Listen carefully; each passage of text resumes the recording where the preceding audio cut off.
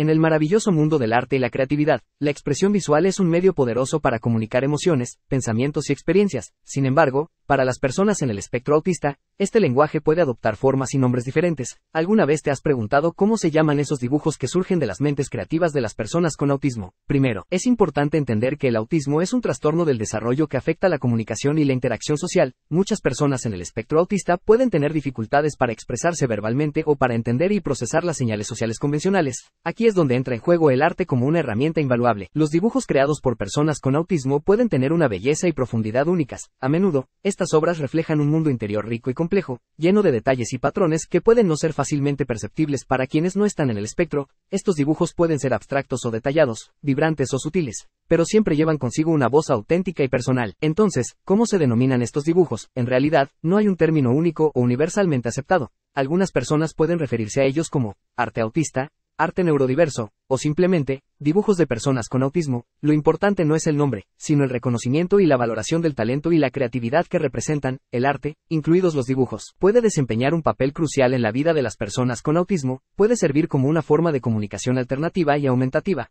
permitiendo que aquellos que luchan con la expresión verbal compartan sus pensamientos y emociones de manera significativa. Además, el arte puede proporcionar una salida para el estrés y la ansiedad, así como una forma de explorar intereses y pasiones individuales, es importante fomentar y apoyar el arte en todas sus formas, especialmente entre las personas con autismo, ya sea a través de la pintura, el dibujo, la escultura o cualquier otra forma de expresión creativa, el arte tiene el poder de conectar, inspirar y transformar vidas. Entonces, los dibujos creados por personas con autismo son una manifestación única de su mundo interior y una forma valiosa de comunicación y expresión, más allá de los nombres o etiquetas, es crucial reconocer y celebrar el talento y la creatividad que estas obras representan.